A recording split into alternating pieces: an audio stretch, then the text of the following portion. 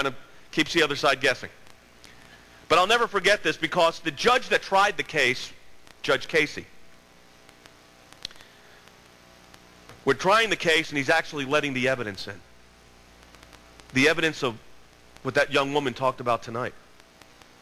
The evidence of the fact that this is an unborn life.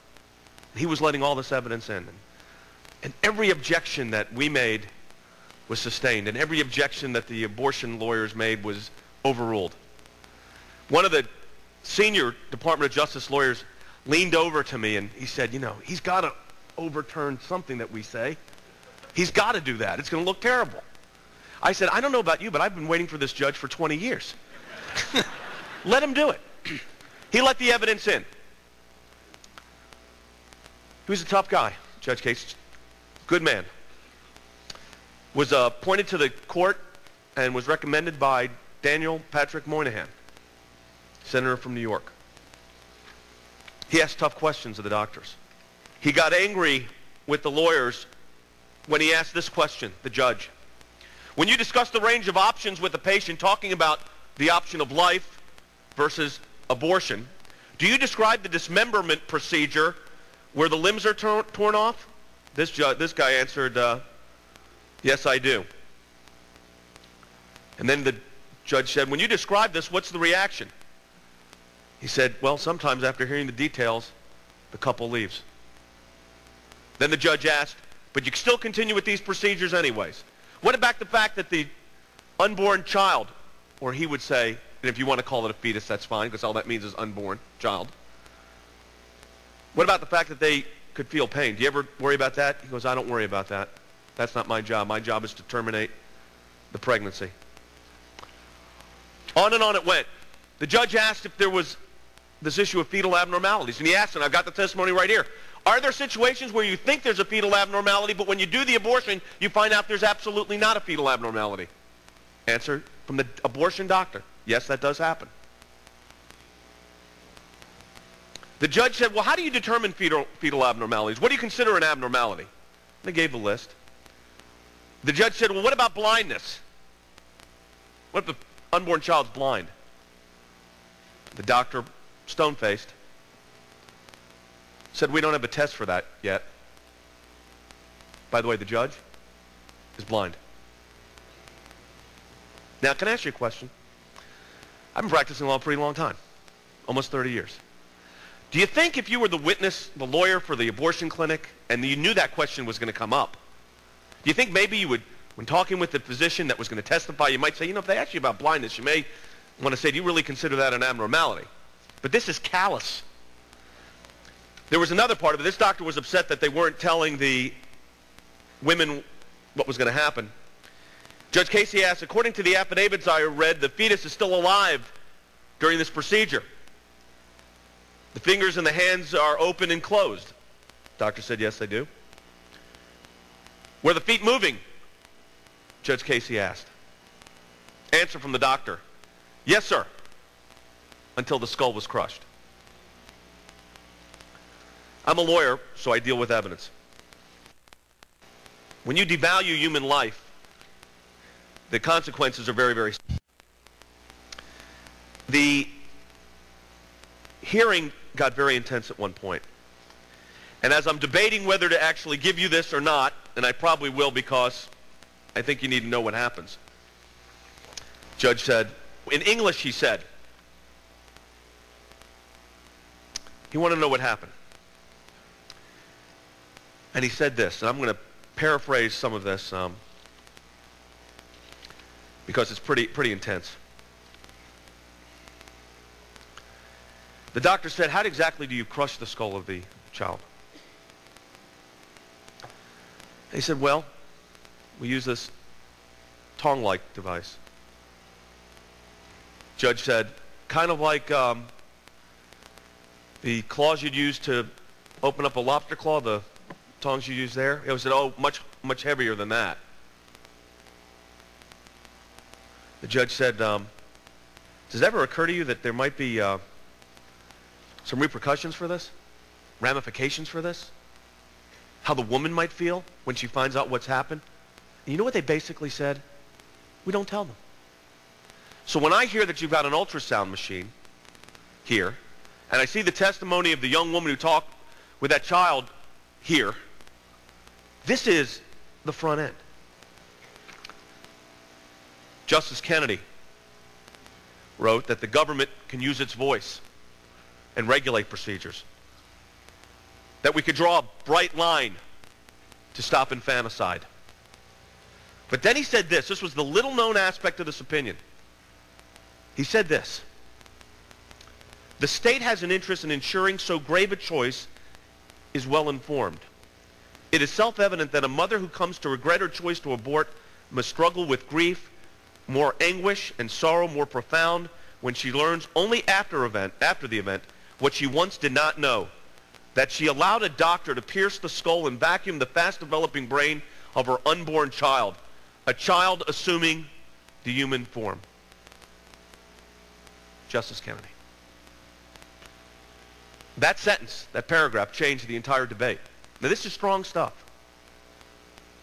And I really hesitated whether to bring this up because I could, you know, come here and tell you this story and that story, but you're here because you care about this issue. You have to understand something. This issue of informed consent and the ultrasounds and states being allowed not only now to allow it, but require it. Some states have already done that, and the court said it's constitutional. Is going to change this entire debate. My brother-in-law is a radiologist. He told me um, years ago, probably 25 years ago, he said, we will win the abortion debate because the technology will so unmistakably show that we're dealing with a human being. The problem is the groups like Planned Parenthood don't care that it's a human being. So while to that young woman that was so significantly impacted by this wonderful ministry here, she understood it. Understand something. When we were arguing the partial birth abortion case at the district court, the woman for the National Abortion Federation was seven months pregnant herself. I said to her at one time, you know, I, try, I keep relationships with all of them. But I, we walked out once, and she was needed to take a break, and it was obvious that, um, you know, she was seven, eight months pregnant. I said to her, I said, this was in the hallway. I said, do you ever think for a moment that what you're doing here might be wrong? I mean, would you do this to your own? Unborn child at seven months? Because the doctor that was on trial does do that. Would answer me. But the fact that she wouldn't answer, I think, speaks volumes. And here's the key. And I really believe, by the way, that this is the key. We're going to win this battle with people like Life Choices. What you're doing right here. One woman at a time. You know, we're in a funny season in Washington right now. We're seeing the end of one administration and about to be another. Um, some people have complained, you know, lately about, well, they're mad at President Bush for this or that. I'm going to tell you something. Roberts and Alito. You don't have to say a whole lot more.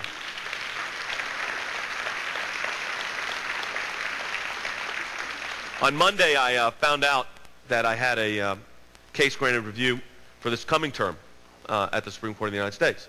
Uh, but the fact is, it's a whole new world. When Justice Kennedy, for a majority of the court, wrote that opinion, and I told a lot of friends of mine that are you know mad at this justice, and don't ever count any of them out.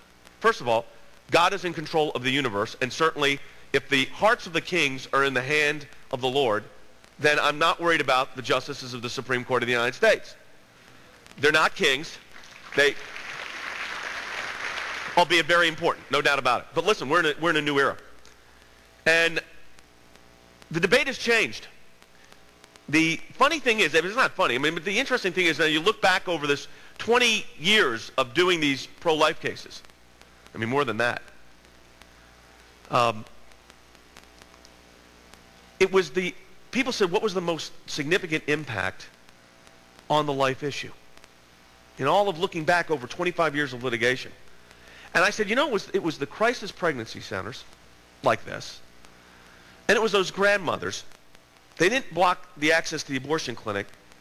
They just would kneel on the sidewalk and pray, and it drove those abortion clinics crazy. And I will never forget this. We had 1,500 people arrested in Atlanta, Georgia. 1,500. And we were trying these cases. And it, our, my theory was this. Where I was a uh, government prosecutor when I got out of law school, so I kind of know how the system works. And I said, just wear them out. So the judge said, are you ready to try 1,500, thinking we would come up with some kind of plan. I said, we're ready to go. Start them one at a time. I demanded all of them be tried separately. it was a hot time in Atlanta. And um, we had a great judge. It was an, you know, you get these judges every once in a while. This was another good one. And um, we tried this case, and, and uh, they were trying to identify the defendant.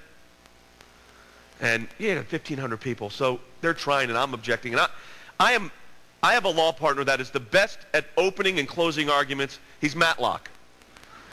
I'm the anti-Matlock. They're ready to throw me in jail by the time the case is over with. I do the appellate arguments, and I'm a stickler on the rules of evidence, and I don't give them a break. So they're trying to identify the defendant who's sitting right there. I mean, he's right on the table, but they have to go through the form, and they get the, the police officer on there. He can't remember 1,500 people, but he, you know, they're trying, and this piece of evidence goes in, and I see in the corner of my eye this little yellow sticky tab thing, like a post-it note. You got to, you know, trial lawyer, you got to make decisions right on the spot. My partners, don't you think you should object? Eh, wait a minute he's, you know, so they're saying, they're going through the question, and the prosecutor says, can you identify, officer, the defendant? And he goes, yes, the defendant is sitting right here at this table. Points to him. Said, Judge, can I approach the bench?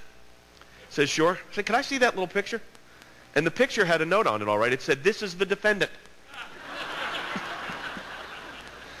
this was about case, probably had tried about eight of them so far that day. There was about 1,492 to go. The judge turned to the Solicitor General for the state and said, you know, um, what are we going to do here?